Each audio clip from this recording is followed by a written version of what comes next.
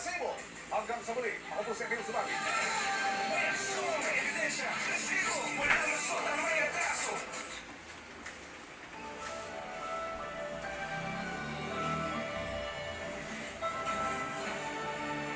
Ang pinakamalit na balita ngayong araw na linggo.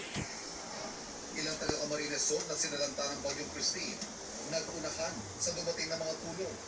Sa ilang bahagi ng Batangas, nakakapag na putik, pati mga troso, tumampad sa mga kalsada at paaralan. Sa Naga, problema ang baha, kaya ilang sasakyan, pila-pila. Panibagong bagyong nakapasok na sa Philippine Area of Responsibility. Saan at kailan mararamdaman?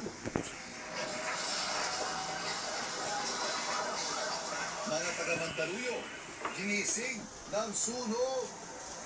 Pero dito po sa Villa Florida, ang may babambag na lalaki namin. Dahil sa puputi Baka sa Laguna. Bakit kulay putik? Hi, I'm Fernandista and welcome to my world.